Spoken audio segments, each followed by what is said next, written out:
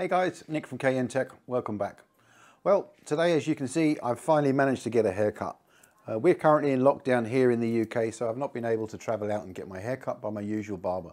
So I got myself a pair of clippers online and I went at it. And as you can see, it's a little short. Hey, it'll grow out, it's not a problem. So I've got a small cheap studio mic which I have on a very cheap uh, microphone stand which I got off of Amazon. Uh, and unfortunately this is not quite long enough to reach my mouth when I'm using my screen. Uh, so when I'm recording something on my desktop using OBS, uh, it doesn't quite come up so I have to move my chair over so that the mic's nearer my mouth. In this video I'm going to be modding it, so I'm going to be taking it apart. I'm going to be cutting some longer lengths of the arms that uh, articulate from the desk mount and hopefully it's going to make it a little bit longer which means I don't have to keep moving either my chair or the desk mount. Stick around guys, let's see how it turns out. So this is the microphone that I use when I'm recording things on my screen using OBS. Currently I have the desk mount on the end of my desks over on the left hand side and I try and bring it over to as close to my mouth as I possibly can. Now unfortunately the distance from the clamp to the microphone is 33 inches or 85 centimeters uh, and the individual sizes of the uh, arms are around 13 inches or 33 centimeters. Now I'm going to hopefully make these a little bit longer. So what I've done is I've gone out and I've bought some aluminium uh, 10 mil by 10 mil and this is a meter long.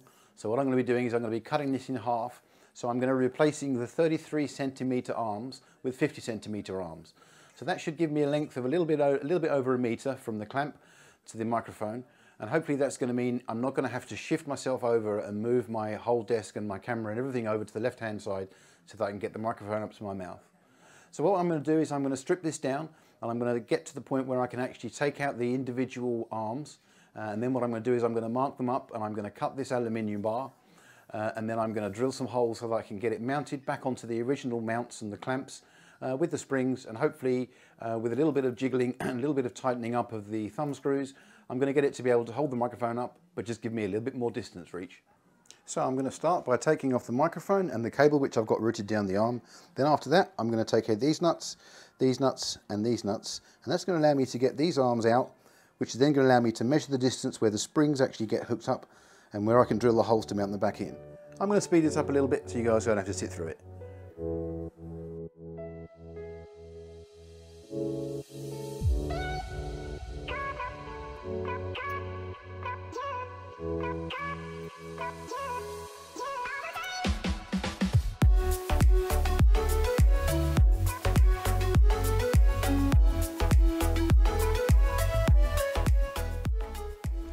Worth remembering which, which springs come from where. So in my case, the smaller springs come from the base and the longer springs come from the second arm.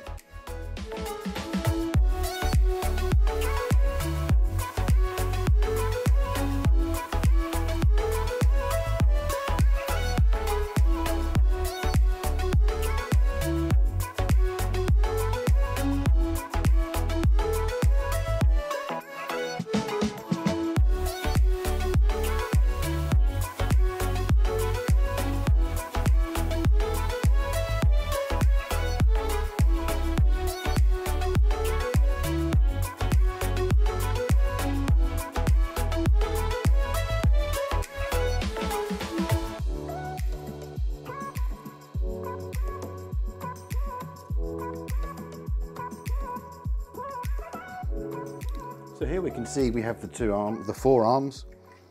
We can see that these are around about 13 inches or 33 centimeters in length. What I'm going to do is I'm going to hopefully extend these so they're going to be around 50 centimeters in length. And what that's going to do is it's going to give me a lot longer reach on the actual arm of the microphone. So we can see that two of the arms have these little channels cut out here with these little end caps on here. And these are what allow you to run cables through should you want to run the cables actually through here. Now, like I said earlier, this is only 10 mil by 10 mil, so you're not going to get a USB cable through there.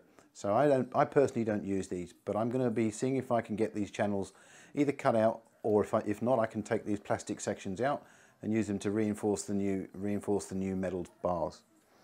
We'll see on the other two, these are the two that have the spring connectors on it. And luckily the spring connectors for these are in the same place, so it doesn't matter which, if I swap these around from the top or the bottom.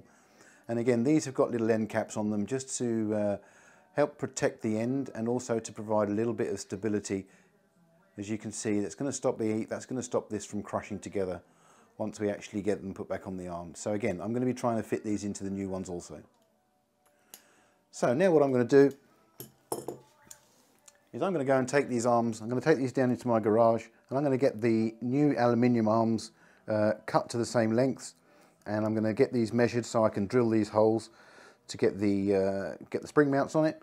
And then hopefully I'll come back and we'll see if we can put it back together again. Okay, so here are the original four arms that came off of the uh, came off of the microphone arm.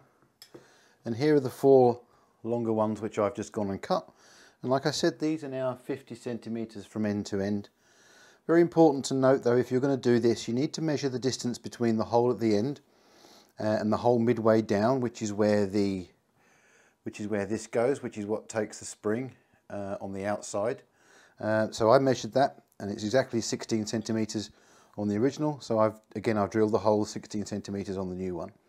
Now, if you were going to do this permanently, you can actually take this away and you can spray paint this uh, to make it black. Uh, initially, I'm not going to bother. Uh, one thing I did notice though, and I'll show you if I, if I, if I can, you can see the thickness of the metal on the, on the replacement is actually considerably thicker than the original. Uh, I think this is actually steel as opposed to uh, aluminium. This is aluminium, so it's going to be lighter, and also being thicker, it's going to be a little bit stronger. So I may or may not actually uh, put these plugs back in. Uh, I don't think they're actually going to fit. You can see it fits in quite nicely in that one. But if I try and put it in this one, it's actually just a little bit too big. So rather than shave that down so it fits, I'm going to see how it works without. If need be, I can always shave these down. I'll get a little piece of wood, uh, wood cut down in size and put that in there and drill that through. So what I'm going to do now is I'm going to try and put this back together again uh, and we'll see if it actually works.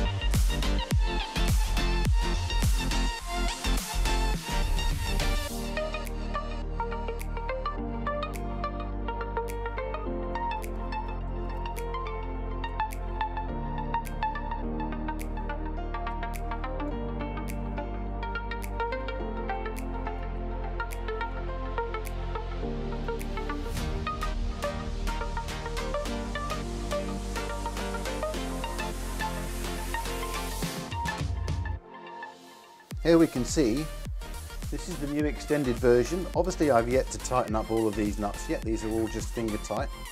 But what I'm going to do is we can see where the spring goes here and where the spring goes here. Don't forget it's the smaller one for the bottom and the larger one for the middle. So I'm going to get all these tightened up and I'm going to get it put back into the stand and we'll see if it makes a difference.